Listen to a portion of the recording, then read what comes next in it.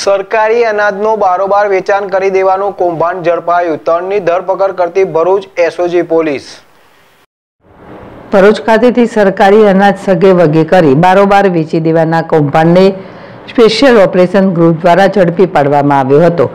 SOG પોલીસના કર્મીઓ પેટ્રોલિંગમાં હતા. તે દરમિયાન મળેલ બાતમીના આધારે એક આઈસર ટેમ્પો નંબર જીજે છ બીટી ચુમ્મોતેર છત્રીસ ની રોકી તપાસ કરતા તેમાંથી પચાસ કિલોમીટર ગ્રામની એક એવી એકસો પચાસ થેલી ચોખા અને બીજી એકસો પચાસ થેલીમાં ઘઉં, એમ કુલ ત્રણસો થેલી સાથે આઈસર સાથે બે ઈસમો ઝડપાયા હતા.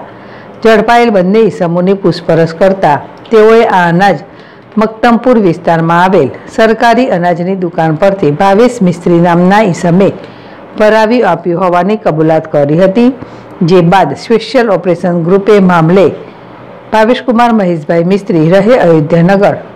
Link road Bharuch. હરસેલ Kamleshbhai Shah રહે પાદરા, વડોદરા તેમજ વિક્રમસિંહ રાયસી સોલંકી રહે દરબાર ફર્યું સંખેડા નાઓને ઝડપી પાડી. કુલ બાર લાખ સિત્તેર હજારનો મુદ્દામાલ કબજે કરી. તમામ સાબે કાયદેસરની કાર્યવાહી હાથ ધરી છે. યાકુબ પટેલ જેડેશ ટીવી ભરૂચ.